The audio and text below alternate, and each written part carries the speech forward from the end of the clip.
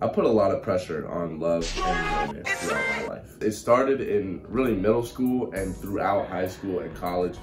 My most difficult bout with sexual anxiety came coincidentally between the ages of 19 and 22. This was at a time where we are supposed to be incredibly active, right? I mean, you're in college. I can honestly say being in college and believing that I had that expectation upon me because really it was only there because I put it on myself. It's not like people were banging down my door trying to figure out who I was having sex with on a daily basis placing that expectation upon myself that because I was in college, I had to be active, I had to be super horny all the time, my hormones had to be going crazy. It definitely sort of compounded the frustrations and pressures of the sexual anxiety that I was working through. And that, I think, is a big active word here, that's pressure. A lot of sexual anxiety that I had came from putting unnecessary pressure on myself. Sex is supposed to be something enjoyable and fun to be done by two or more parties. And yet there I was thinking it out to be some kind of fight or flight, intense pressure-based, performance-based situation. Beyond that, I just downplayed how difficult it was for me. And we'll get into why opening up is helpful a little later on the video, but I was kind of half opening. I was explaining the problem, but I didn't really talk with my friends or anybody about how deeply it really affected me. So I'm choosing to go on YouTube to do it. What's up guys, Editing Zane here. I just wanted to say, I'm glad that I am going on YouTube and doing this because I think it's honestly helping me work on my sexual anxiety a good bit. By opening up about it, as I will mention in the future, I'm taking even more ownership of it. And I'm saying this is something I've went through, something I'm still working on, but I'm gonna be open about it and hopefully I can help some other people in doing so. I shouldn't have been valuing my worth based on if I was able to perform in a sexual situation or not. That's kind of a negative cycle in and of itself because the more you do that, the more pressure you're gonna put on yourself to perform and then you're not gonna perform because you're putting too much pressure on yourself. It's just, it just goes around and goes around. I can say, you know, 110% sexual anxiety had a serious negative impact on my sex life from when I was 19 up until honestly about six months ago. Bang, bang. But around six months ago up to now is when I've seen legitimate, serious changes in my sex life, in my sexual anxiety, and in my mindset surrounding it all. I am here today to talk to you guys about the changes that I made that helped me overcome my sexual anxiety so that if any of you guys are dealing with it or anything like it, hopefully this video can help you to work through it just like I did. And I think that the points I make will help for more than just sexual anxiety. I think they can apply to social anxiety if you're a procrastinator, if you want to start a new habit or quit a new habit. To give you a quick intro on me, I'm Zane. I'm a 22 year old creator. I'm from Virginia, but I currently live in Orlando, Florida. And recently I've wanted to question what my real desire is with the videos that I create and the content I create. What I want to do is blur the line between self-development and self-improvement and entertainment media. I want to create a community around improving and developing ourselves in healthy, fun, entertaining ways. If that's a community that you're interested in being a part of, the subscribe button is your sign up form and the like button is your entry fee. So appreciate it guys. Let's get on to three major points that I have for you guys on how I overcame my sexual anxiety and hopefully how you can too. This first point is something that can be applied to so many different areas of your life. Sexual anxiety, social anxiety, procrastination, starting a new habit, whatever it may be. This is a very important point that I believe everybody should do on a daily basis, regardless of what you're going through or what you're trying to get over. That idea that I want to introduce to you guys is questioning your narratives.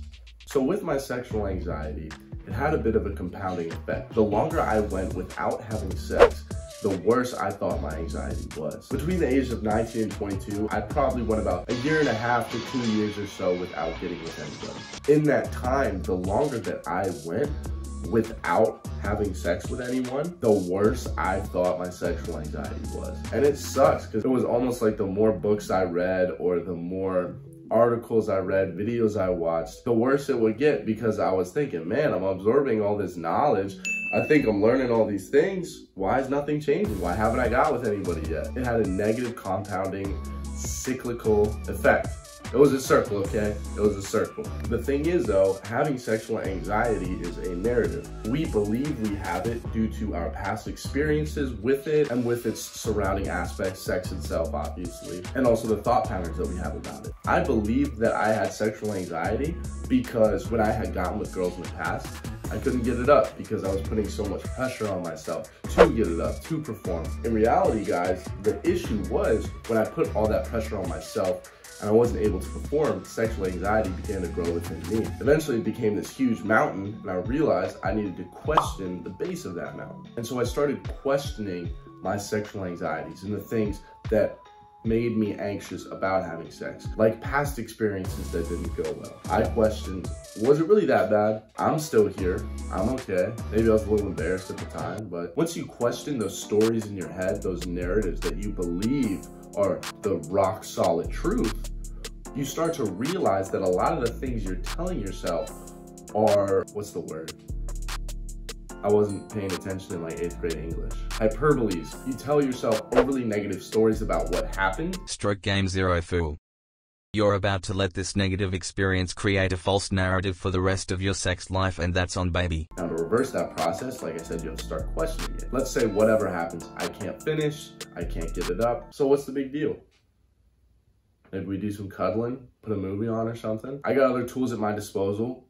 You know, maybe I look into your thoughts and say, hey, I don't have to think this way.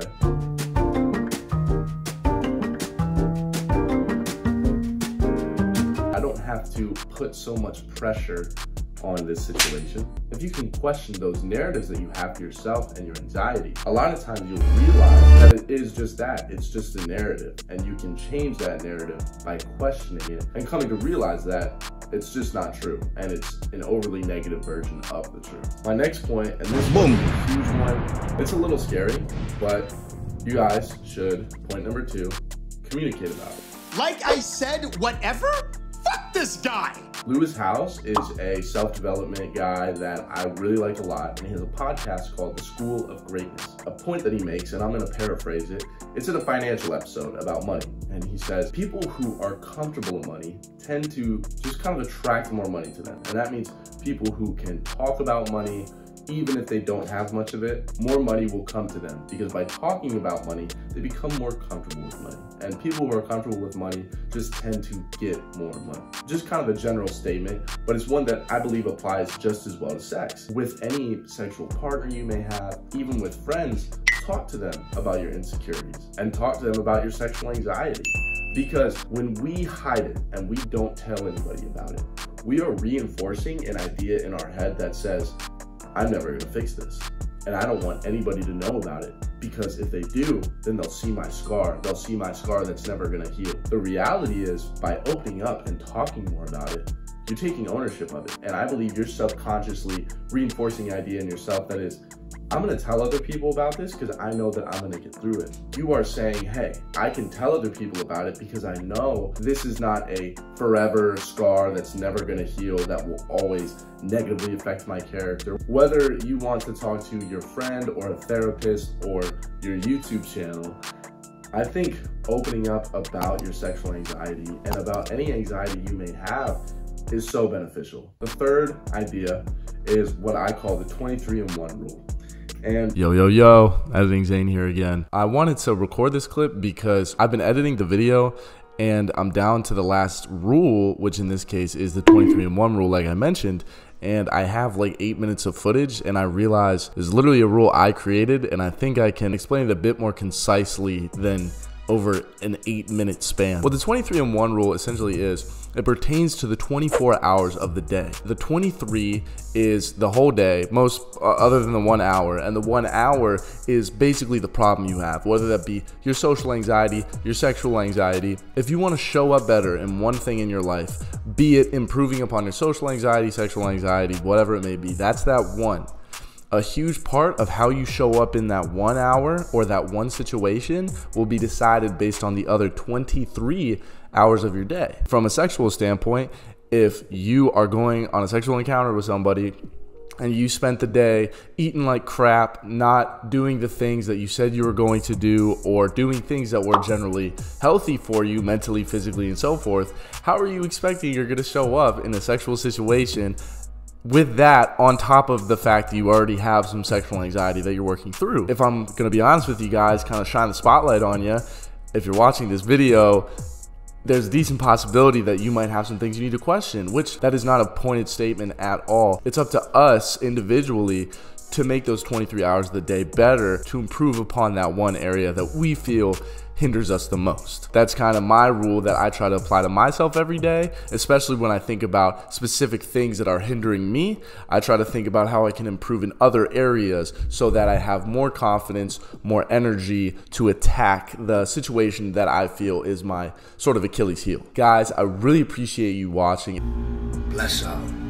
It was a lot of fun and it was honestly kind of raw and vulnerable for me to make this video. I hope that I can help some of you guys in your journey and your path with working on your anxieties and your issues and so forth. Drop a comment below. Let me know if you enjoyed this kind of video and if you want me to maybe touch on a different subject, whether it be more social anxiety or time management because that's something I've been working on a lot. This channel is not going to be a straight improvement channel. I'm going to be making some entertainment kind of vlogs and things like that as well. It's not just going to be straight self-improvement. It's just going to be my life too because I want to share, you know, both of those things with you guys. I hope this video helps everybody's sexual anxiety get kicked to the curb. All right, go get freaky. Screw the anxiety, baby. We're all going to be all right. Thanks for watching. Like and subscribe, and I'm going to catch you on the next video. Peace.